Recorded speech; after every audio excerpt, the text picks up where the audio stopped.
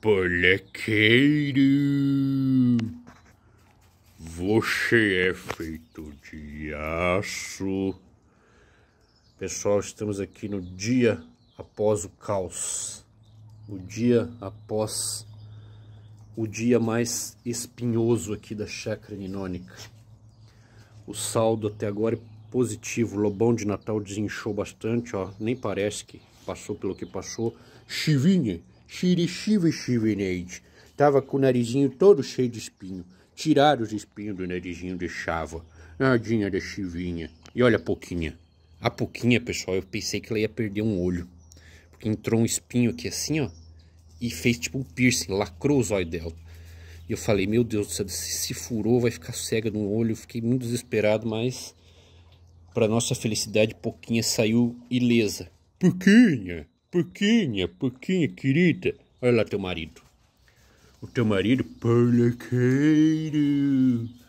Você realmente é feito de aço. Pessoal, esse é brabo. Esse aqui aguentou a dor que vocês não conseguem imaginar. Ele chegou a, a deitar num canto lá, ele achou que ele ia para outra dimensão, né, polaqueiro? Olha só a fuxa do nosso polaqueiro.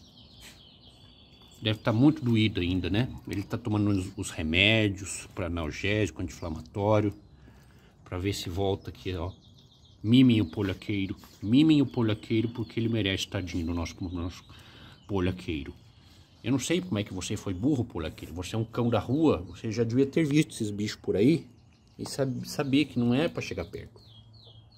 O lobo, o lobo, o lobo de Natal, o lobo natalino, o lobo vagabundo. O lobo chorou lá na clínica, lá, chorou. A, a, polhaque, a polhaqueirinha, pessoal, foi a mais machona aqui de todo mundo. Ela aguentou o tranco, não ficou tentando arrancar os espinhos. Foi uma cadelinha muito obediente, muito exemplar. Né, Lobão? Olha, Lobão. Agora estamos aqui, cuidando do polaqueiro, principalmente, mimando bastante o polaqueiro, para que ele se restabeleça o mais rápido possível. É, pessoal. Passamos por um, por um apuro aqui que não quero passar nunca mais com essa cachorrada. Olha o lacinho da, da Pouquinha. Olha o lacinho da Pouquinha.